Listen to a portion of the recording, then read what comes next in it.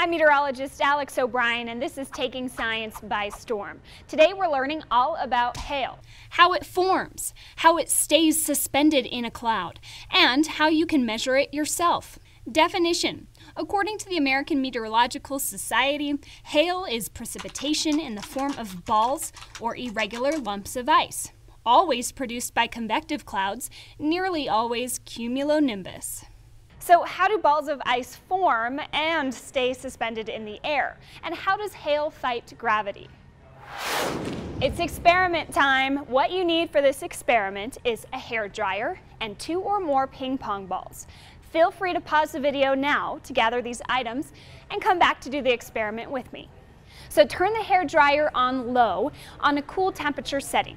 Orient the hair dryer so the air is flowing upwards. Add one ping pong ball and observe. Tilt the hair dryer to a 45 degree angle and then observe again. Add in the next ping pong balls and see what happens. This experiment helps us learn how hail works, so let's dissect the cloud. In a thunderstorm, warm buoyant air rises in the updraft. Cooler sinking air forms the downdraft.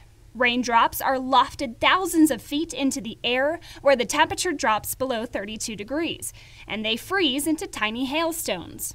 Hail will bob up and down in the updraft and gather supercooled rain droplets and continue to grow. Sometimes hailstones collide and freeze together.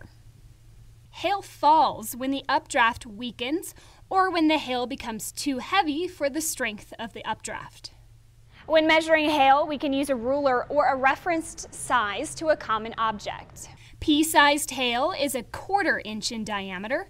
Golf ball-sized hail is 1.75 inches in diameter.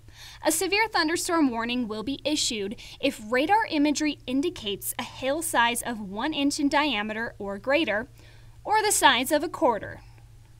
The largest hailstone on record in the United States fell in Vivian, South Dakota on July 23, 2010. It was a whopping 8 inches in diameter. According to the National Weather Service, the estimated updraft speed of the Vivian hailstorm was 160 to 180 miles per hour. In Colorado, the record stands at 4.83 inches in diameter. This hailstone fell in Bethune, Colorado on August 13, 2019. And always remember to seek shelter if a storm is approaching because hail and lightning are very dangerous.